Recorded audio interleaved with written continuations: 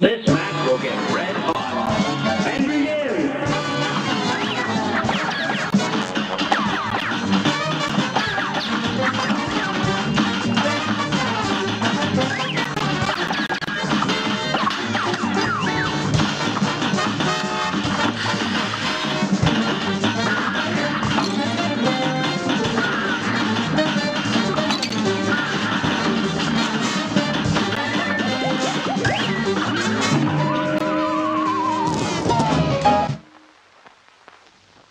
Here's a real high-class